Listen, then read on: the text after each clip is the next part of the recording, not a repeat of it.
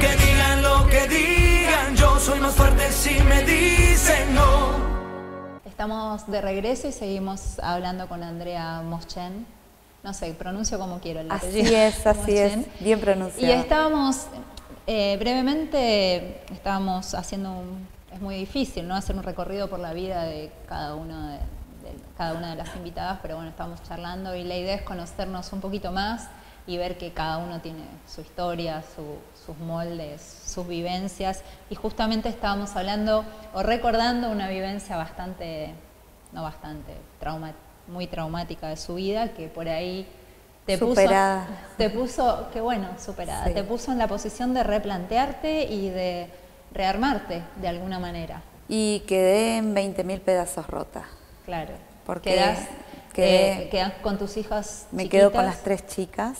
Huérfanas. Eh, Eh, perdón, Sí, huérfanas de papá. Huérfanas de Eh, y bueno, y había que hacerle frente. Dana era, tenía en ese momento 13 años, terminando su primaria, etapa importante de cualquier adolescente. La más- Sí. Xiomara tenía en ese momento 11 y Lara tenía 7.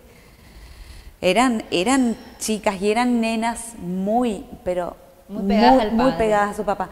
Eso es lo que tenía Juan y yo siempre lo recalco, que Juan no tenía mucho tiempo, pero el tiempo que tenía era de una calidad increíble. Eso es importante rescatar, ¿no es To- cierto? El- el totalmente. tema de la calidad del La tiempo calidad del por ahí, tiempo, no la cómo damos el tiempo, ¿Cómo cómo, damos el brindamos el tiempo, sí? Mm. Entonces, cuando él estaba en casa, teníamos esto de, bueno, yo me iba a la cocina y él se quedaba jugando Con las nenas. con las nenas desde a las escondidas, a la mancha, andar en bicicleta, a poner, había muchos juegos de mesa. En tu a casa. Juan le encantaban los juegos de mesa. Ajá. Entonces, y eso hasta el día de hoy está en casa y se sigue, ella- ellas juegan mucho.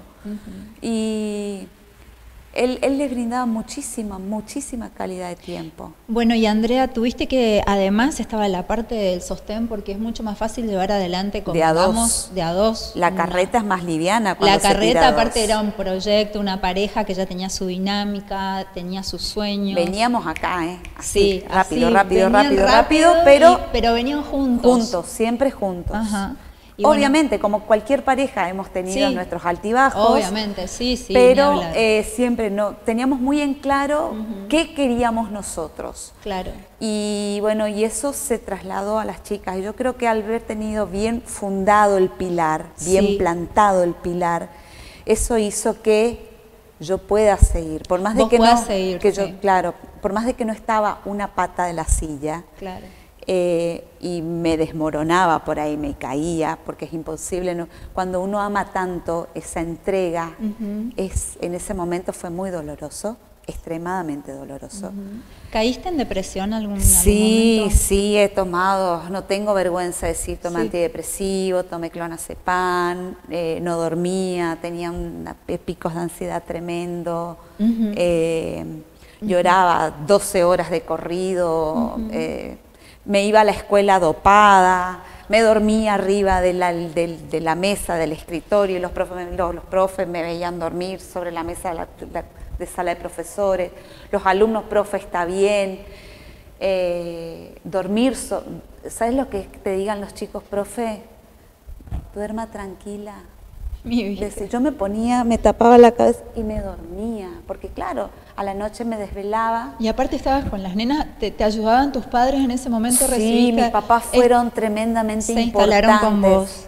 No, no es que se instalaron, Pero pero, sí, iban. mi mamá iba y Iban. venía, mi papá también Y iba y venía, 15 días uno, 10 días otro, por ahí nos quedamos solas.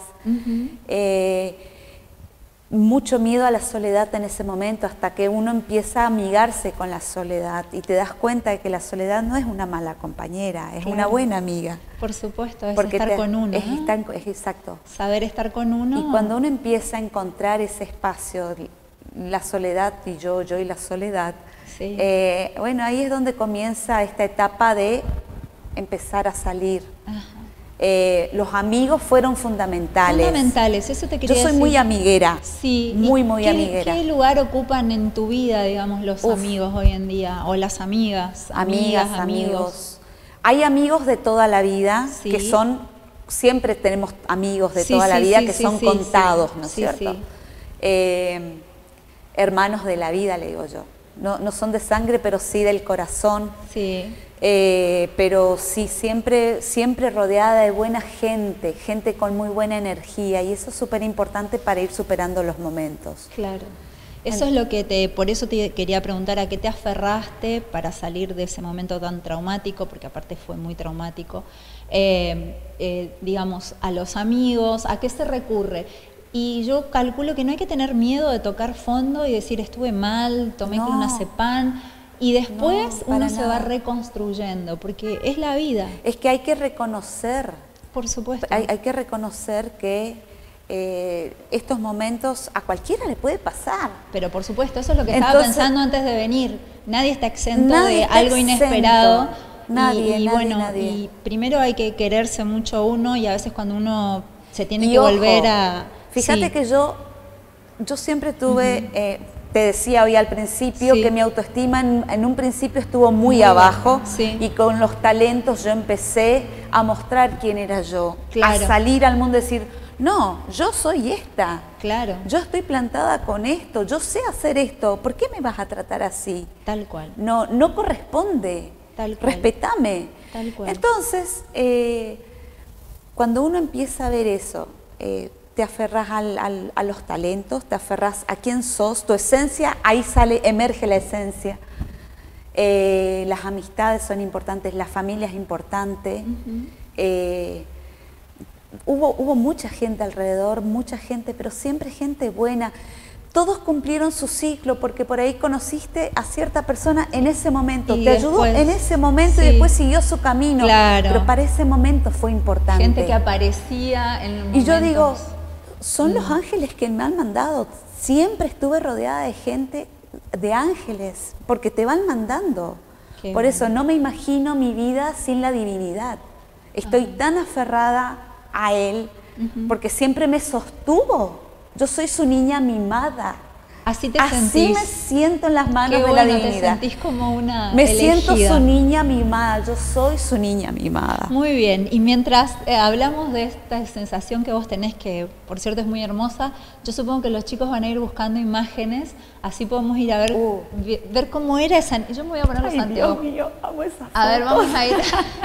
Son, viste, esas fotos que ojalá se puedan percibir bien. Distintos momentos de tu infancia. Sí, lo que Mirá qué linda grinita.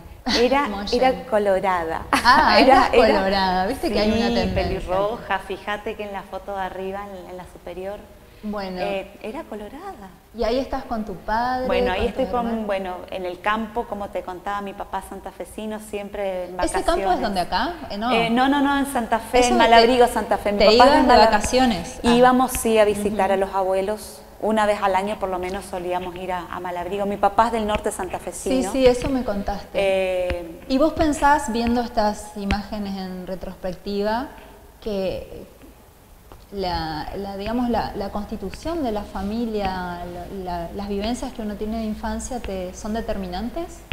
y marcan. A mí me encantaba jugar a Ajá. ser mamá. Ah, Ay, mira. por eso te iba a preguntar. sí. Jugaba mucho a la casita, tenía mi, oso, ese era mi oso. eh, De peluche.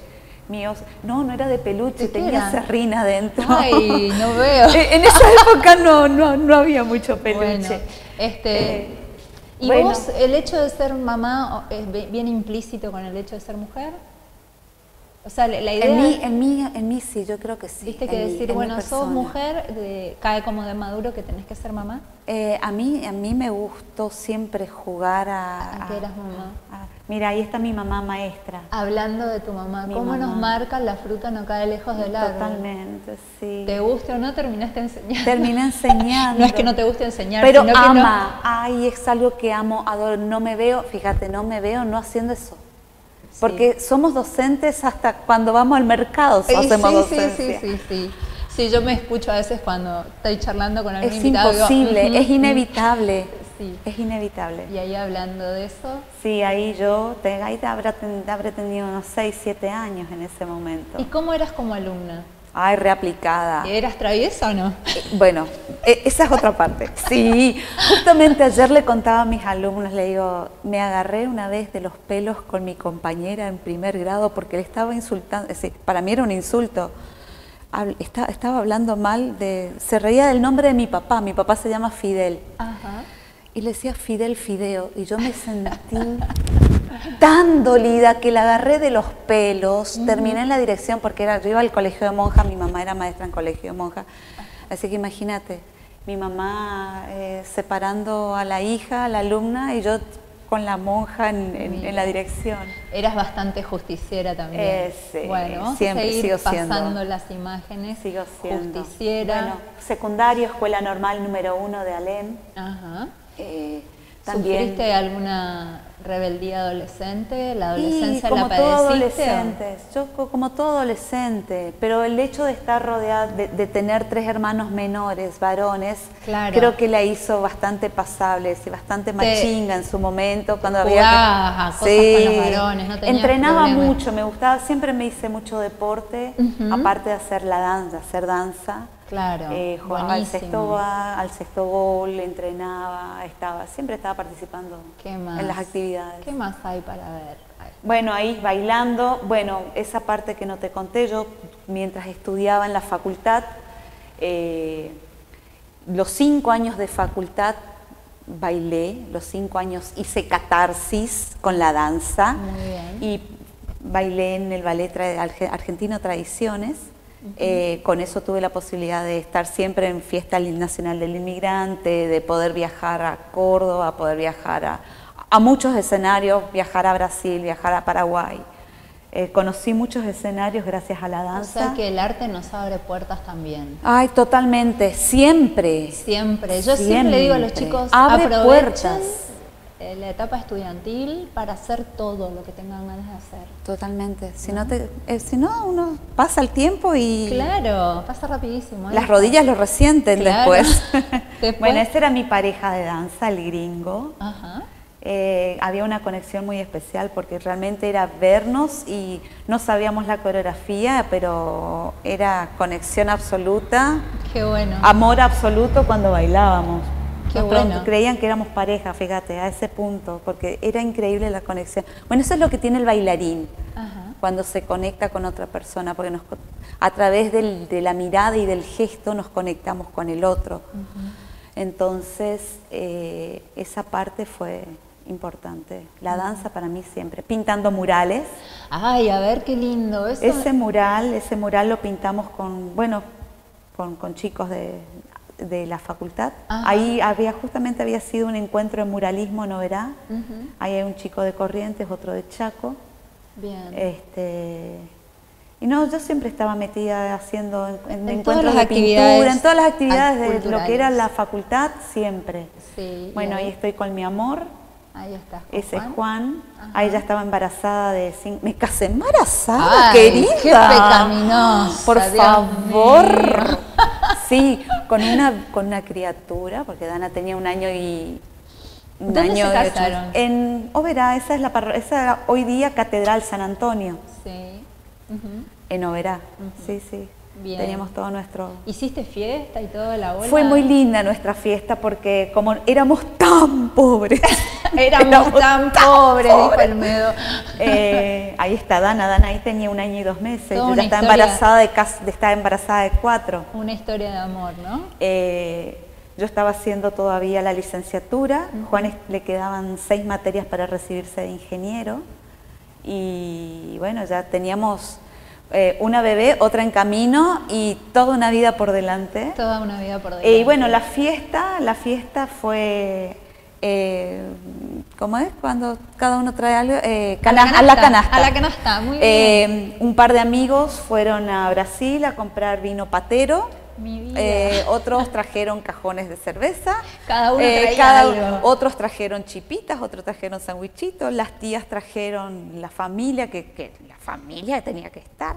Sí. Así que- y bueno, todos querían fiesta. Claro, y ustedes decían, bueno, pero no podemos pagar la Y, fiesta. y bueno, y hagamos a la canasta, y em- es algo muy del estudiante. eso, y Sí, bueno, y fantástico. bueno eso, esa foto me encanta porque Juan me seguía en las locuras eh, por eso nos llevábamos bien, más allá de que tenía una mente estructurada de ingeniero, yo era la, la Pero él respetaba. Él, él me acompañaba en la Y locura, eso realmente. es lo bueno del amor sano, digo yo, ¿no? No bailamos el vals. ¿No? No, ¿Qué baila- bailaron? bailó una samba, porque Qué yo dije bueno. que siempre dije que el día que me casaba quería bailar una samba y Juan Qué accedió, bueno. Sí. le enseñé a bailar una samba y bailamos una samba. Es más, nos- eh, un primo de él, ahí estamos Ahí los está, dos, qué hermosa foto. eh, un primo de él, bueno, hacía programas, tenía, eh, editaba cosas, tenía- grababa. Y bueno, nos grabó el casamiento, todo. Bueno, yo le canté a mi esposo el día que nos casamos, le canté. Y él me acompañó bailando la samba. Ese, esa parte de nuestro casamiento recorrió, fue el boom. Se viralizó. Se viralizó. Hoy día se, se viraliza Sí, por las redes, pero en ese momento en era ese el momento canal. Canal 4 Ah, de, era de- famosa. y bueno, porque fue, rompimos la estructura con nuestro casamiento. Claro, ya Rompimos venías- el molde. Venías rompiendo los moldes también de tu propio casamiento. Totalmente, no teníamos- Hiciste algo particular. Sí, teníamos, y ¿Qué bueno, y bueno, ahí siempre papá, eh, al principio íbamos mucho al cementerio, Juan está enterrado en Parque Tierra de Paz, en Posadas, porque sus papás están allá.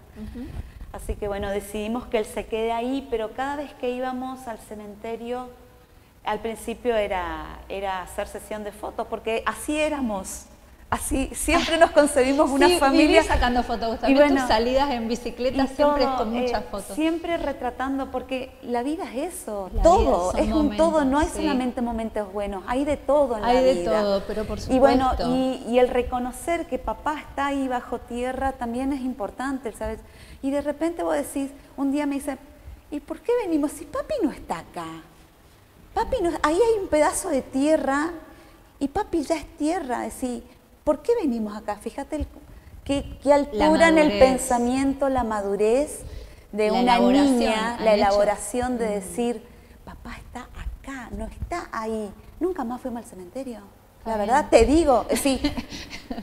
A ver, a, a mucha gente yo entiendo que eso molesta, porque es, tien- viene con una cultura, pero cuando uno entiende que la muerte forma parte de la vida, porque nos han enseñado a hacer así, vida, muerte, la muerte es mala, y no, Es parte. es parte de, forma parte de, nacemos, nos formamos, crecemos, morimos, es, es la cadena, no se puede escapar de eso. No se puede Entonces, escapar. ahí está, Ujú. eso, eso somos, y a ese Eso punto somos vamos. y esa es sí, un poco la representación de la elaboración también del duelo y cómo, eh, cómo fueron elaborando la idea de la muerte, que es muy interesante lo que vos decís también frente a estas fotos, porque es cierto, no nos educan. No nos educan No, para esto. hay culturas que sí, que incorporan a la muerte como algo, pero nosotros la tenemos como algo que a veces que es ni, malo. ni queremos hablar. No, y ni es queremos tabú. mencionar. Es tabú. Es tabú es hablar de la muerte, es tabú sí. hablar- Y no, y no es así. Sí. Es que es dolorosa y sí, bueno, mi, mi amor Dana, ella es mi niña, ya que fíjate, en un momento la tenía upa. Ahora- y ahora, ahora creo que ella me hace upa a mí. Dana es grandota. Sí. Ahí, bueno, una de las tantas cosas que empezamos a hacer, nosotros éramos muy viajeros, nos gustaba Ajá. salir mucho. Viajes, naturaleza, deporte, a- arte. Eso sí. para mí es la fundamental. clave. Cuando fuimos, eh, nosotros saliendo, cuando todavía Juan vivía, fuimos al norte a conocer. eh, en, esa, en ese momento las nenas eran chicas y después de que a los dos años, tres años, a los tres años de fallecido él, eh, o dos años, bueno, el Sí. tiempo es relativo, eh, hubo una necesidad de pasar por los mismos lugares, es ir, ir haciendo el duelo, Claro. pasar por los mismos lugares por donde habíamos hecho los recorridos con él. Hicimos los mismos recorridos, sin querer, porque iba, iba surgiendo y nos... Y fuimos a Purmamarca y una amiga en ese momento me había dicho que había soñado con él y había recibido un mensaje de Juan donde le decía que lo sienta en el viento, lo sienta en el sol y lo sienta en el cielo azul. Es muy fuerte. Yo en ese momento no lo entendí. Cuando en ese 2013 habrá sido esa foto, cuando decido hacer el viaje a Purmamarca, fuimos al norte a casa un primo a Tucumán y vamos a, vamos a, a Jujuy. Y bueno, sí, vamos. Yo cazaba el auto las chicas y nos íbamos. Y cuando llegamos al Cerro Los Siete Colores, era el viento, el sol, me pasa escalofrío, Ay, sí. el viento, el sol y el cielo azul. Sentíme y ahí sentí que empecé a soltarlo. Ahí lo empecé a soltar. Fue una liberación. Llegar a ese lugar y soltar a Juan y así. El cielo era azul, viento, eh, el, el- el sol era como es, el norte que te abraza. Bueno, esa es mi niña Dana. Hay las dos eh, en plena Dana, en acción, sí, en danza. Dana sigue bailando en Córdoba, Dana está haciendo ingeniería biomédica en Córdoba. Qué Esa es Lara, biomédica. es mi niña más chica, Ajá. Costa del Río Uruguay, Xiomara, Xiomara está haciendo psicología también en la UNC en Córdoba. Psicología, qué lindas Psicología. carreras que eligieron, Interesantes. ¿no? Interesantes. Muy interesante. a Bueno, me esas fueron nuestras todo. últimas vacaciones ante la pandemia. Mira, pantalla Eh, plena. Sí, tras la sierra. Bueno, esa soy yo.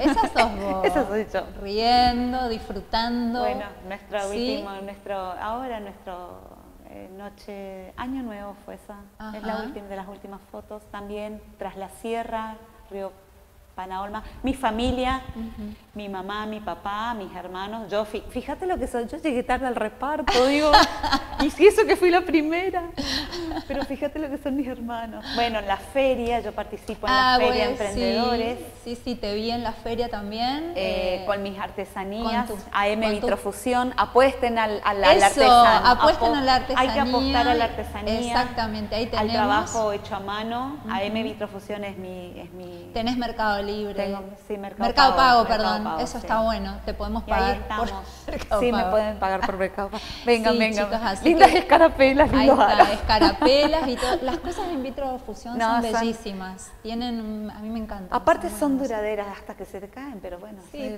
¿y podés hacer cosas a pedido también? Y suelo hacer, pero si, por te, ahí... si te piden, por ejemplo, qué sé yo, un juego de platos, ah, mirá las mariposas. Sí, sí. Veo que la mariposa es un eh, tema recurrente. Es muy recurrente, sí. Es transmutación. Es transmutación. La mariposa tiene un significado importante porque justamente es eso, es transmutar, es cambiar. Es cambiar. Y Es yo te veo ahora, después de todas estas vivencias, de toda esta historia, de esta vida rodeada de familia, de arte, de experiencias múltiples, te veo como una mujer plena. Ay, totalmente. Que en este momento siento. sos libre, sos feliz, te relacionás independiente. Vos sabés que esos días me dijo una señora, yo no, no sabía por qué te admiraba tanto. Ah, la pucha, dije yo, una señora grande. Y me dice, y es porque sos libre, tenés un espíritu libre. Y yo así me siento libre. Un Por fin salí de la jaula. Mira, y acá, y, Y acá, también me imagino andando. que rodar y la bicicleta te hace, te Ay, da me- también ese sentido de libertad. tengo, bueno, y tengo, es interesante porque a los 46, Ajá. tengo 46, Muy lo bien, asumo, hay que decir la lo edad. asumo. Sí, yo no voy a decir porque no importa. Eh, no, hay, Sí, hay que decirlo sí, sin miedo. sí. Eh, te decía que eh, a mis 46 siento esa adrenalina cada vez que voy a agarrar la bici, como la sentía cuando subía al escenario o cuando escucho una chacarera en una peña, estoy... y me- No te puedes quedar No me quieta. puedo quedar quieta, tengo que salir a bailar. ¿Y cómo fue? Este es el grupo Mujerada en Bicicleta, Mujerada ¿no? Bici. Que otra iniciativa de un grupo de Eh, mujeres. sin querer, también ¿Cómo como fue? todas las cosas, rompiendo los moldes. Rompiendo los moldes, dijeron, Eh, bueno. bueno, eh, un día, bueno, yo estando así, tenemos días bajón, no, Sí. no es que somos solamente sonrisa. Obvio. Eh, tengo varios grupos así con los que podemos salir, podemos salir, podemos salgo, no salgo, bueno, y yo me ahí a- vamos a ¿Pero donde- vos ya andabas en bicicleta de antes o es cuando, bueno, cuando estaba en Alem, solía agarrar la bicicleta a mi papá sin cambio y me iba hasta cerca Cerro Azul, ruta 14. Eras chiquita. Y tenía, era así, 16 años, 15, Ajá. 16. Y bueno, eh, Qué hermosos lugares. pero... Bueno, y entonces surge la idea de hacer un grupo de... y en realidad fue así, salir un día y me dice Teresita Altuna, me Sí. dice, che, vamos juntas, ¿cómo vas a andar sola? Claro. Y bueno, le digo, salí, qué sé yo. Bueno, empezamos a salir. Nos vio, nos gritamos de, che, ¿puedo salir con Otra- ustedes?". otra profe de arte. Otra profe de arte. sí, vamos. Empezamos a sumar. Claro. Cuando nos dimos cuenta, un día se sumó Jackie Fraser, Mónica Bacho. Eran un fuimos- de repente éramos cinco, seis. a la semana éramos 10 y así Sí. fuimos sumando y bueno, y como somos más de 30 creo que. La movida de la bicicleta, digamos que se impuso, ¿no? Que vemos en nuestra Que ciudad fue- mucha gente. Bueno, pero eso fue el- el fruto lindo de lo que fue la pandemia, porque tuvimos que aprender a utilizar el tiempo y encontrarnos con nuestro tiempo. y, y salir de la vorágine, eso que hablamos hoy, del- del- de la locura del día a día. Pero era fantástico porque no teníamos que cumplir horarios. En el tema de la pandemia, yo estaba muy feliz porque no claro, podías, eh, acomodar los horarios de acuerdo al- a lo que teníamos ganas. O sea, ¿tenés hora- horarios muy estructurados en tu casa o es más bien libre? Y es necesario por ahí cierta estructura para poder ordenarse, Ajá. porque al, al- al trabajo hay que llegar a horario. Claro, bueno, sí. A mí me cuesta llegar a horario a todos lados. Y bueno, a mí, a mí vos- lo contrario. Vos sos bastante yo soy muy, muy puntual. A mí me dicen Ajá. tal hora y yo 15 Tal hora minutos estás. estoy. Y bueno, y entre medio de toda esta reestructuración y la pandemia, aparece también la bicicleta. Aparece la como- bicicleta como y una gracias opción a Dios. De relacionarte, tiene- de oxigenar. de- Eh, tiene que ver con la salud. Yo en un momento, eh, cuando empecé a tomar los antidepresivos y todo, yo subí muchísimo de peso. Ajá. Eh, nunca, nunca me vi eh, tan desarmada eh, y poca... Siempre me moví mucho, muy activa. Yo siempre pulga atómica, me dicen, Sí. imagínate. Sí. Eh, y de repente verme que me costaba moverme bien, cómoda. Pero que no. empezaste a comer más y no te diste cuenta, empezaste a Y, canalizar fue, por la comida. y claro, o- porque cuando uno no está bien, va la panza. Claro, ni- ni- aparte por ahí ni, ni uno ahí- es consciente de y lo uno que no es consciente, de lo que exactamente. Cuando siempre se comió muy sano en mi casa, pero no, no, no estábamos eh, organizados en cuanto al, a la dieta diaria, ¿no? Claro, dieta claro. llamándole a comida buena, Claro, a claro. nutrición inteligente, le digo Sí, yo. sí, sí. Hacer una nutrición inteligente. Bueno, tuve que ir a una nutricionista, en realidad visité varias, pero siempre era, era ir y, y de repente llegar a bajar cierto peso y no poder seguir bajando. Yo hacía la danza, pero evidentemente no, no, no era suficiente. Caminaba, pero no era suficiente, necesitaba algo más. Y comer sano, cambiar totalmente la alimentación, dejar las harinas. ¿Dejaste, no comés más Hoy día harina? como, como poco, como pero muy, muy poquito porque realmente ya me hace mal. Claro. Eh, como muy poca harina, dejé las harinas, dejé los azúcares. ¿Y, y el Eh, alcohol? Y por ahí un vaso de vino es sano. Un Sí, vaso, un el vino es sano. ¿Cerveza no? Poquita. Cuando hace mucho calor me gusta, me gusta. ¿A quién no, Marina? A mí me encanta, por eso digo como... Pero, pero va, va con esto, ¿no? De que Sí. eh, somos lo que comemos. Eh, la importancia de la actividad física es, es una, yo creo que la bici es una de las actividades que, que más te conectan con vos, porque haces introspección cuando vas andando, porque vas solo. Claro. Te reconectás con lo natural, porque te nutrís del verde. Podés charlar y hacer catarsis con tu amiga, con, con- o con quien. Y si no querés hablar, no hablas. Eh, haces la actividad física. Todo. Y haces volvés todo y volvés fantástico. con una adrenalina, endorfinas a full. Che, André, te voy a hacer unas preguntas antes de que, porque ya nos están... Me quedaría mil horas hablar con vos, me voy a poner los lentes. Qué lindo. Vamos a hacer unas preguntas rápidas, porque nosotros somos Ups. muy... ¿Sos de las que salen rápido de la cama? Sí. Sí. Cuando salís de la cama, desayunás mate, café, té o lo que venga.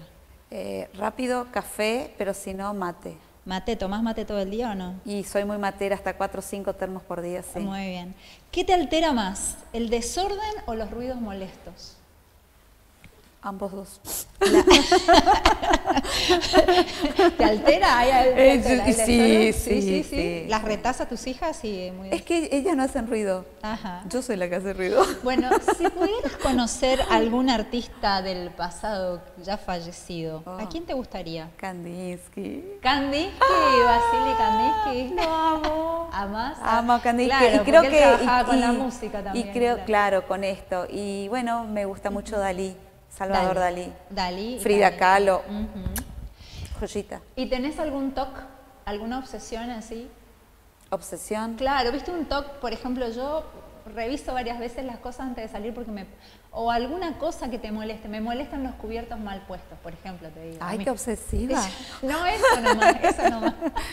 No, a mí me gusta el orden. ¿Te gusta el orden? soy ordenada. Me gusta que mi espacio esté limpio y ordenado. Cuando no puedo trabajar si no barrí por lo menos mi espacio. Ajá. El orden. Bueno, esto de hiciste o haces alguna dieta, ya me lo contaste, sí, así vida que... sana, sí. Vidas, no es dieta, eh, ojo, volvemos a la palabra nutrición inteligente. Claro, comer ver qué comes y para qué lo comes. Sí, sí. Bueno, y qué es lo que uno come que a veces ni tenemos idea.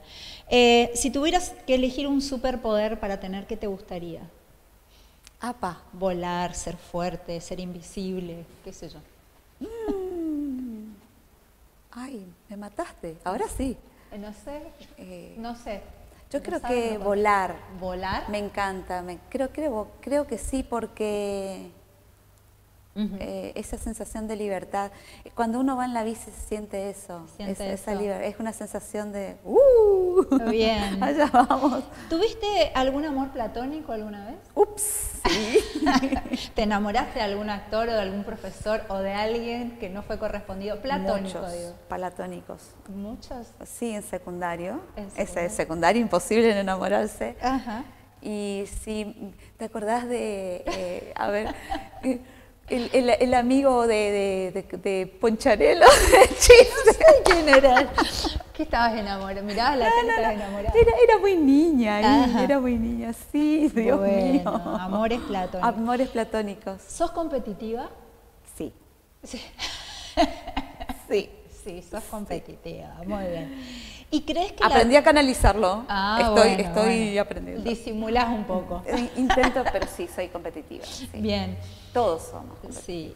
¿Crees que las relaciones entre mujeres cambiaron un poco y que somos más sororas o es un verso? Es que la mujer cambió, sí. Sí, sí, sí, sí, totalmente. ¿Crees que ha cambiado la forma de relacionarnos entre nosotros? Eh, sí, eh, de por sí el, em, creo que esto de, ser tan profesionales, encontramos nuestro espacio, nos empezamos a encontrar a que no solamente somos el ama de casa, Perfecto. somos profesionales. Ajá, muy bien. bueno, esto también ya te lo pregunté. ¿Te, sentiste discriminada alguna vez? Me dijiste que sí, que te sentiste discriminada. Pero, Lloré mucho por eso cuando era niña, sí. Sí, a veces no nos damos cuenta y yo creo que hay que hacer hincapié un poco en esto, sobre todo en la escuela, trabajar con la educación emocional y con el, tema de, cuidar lo que uno dice y cómo lo dice, ¿no? A veces no somos conscientes del daño que le podemos hacer a otra, persona, ¿no? Bien, y ahora como última pregunta, si tuvieras que elegir un regalo para tu cumpleaños o el Día de la Madre o alguna ocasión especial, te voy a dar tres opciones, elegí una o no sé. Mm. Una cena sorpresa romántica con serenata, Mm, una reunión con karaoke y tragos. Mm, más interesante. O una bicicleta nueva. Ay, la bicicleta. ¿Querés que te responda? Sí. La bicicleta. La bicicleta nueva. O sea que vas por más con el tema de la bicicleta. No, yo creo que sí. Bueno. Estoy a la mitad de mi edad, tengo 46, así que hasta los, yo, creo que hasta los 100 no paramos. Voy a ser una vieja tan rompe. En bicicleta. En bicicleta. Bueno, hasta los 100 no paramos. Hasta los 100 no paramos. Te agradezco mucho, Andrea, haber estado. Les agradezco a todos. Espero que le hayan pasado tan bien como yo. Y bueno, esto es un poco para ver. Hay que romper el molde. Hay que romper el molde, chicas. Totalmente. hay que ser, hay que ser uno. Hay que ser uno. Gracias, Andrea. a vos un placer, gracias. Nos vemos. Chau, chau.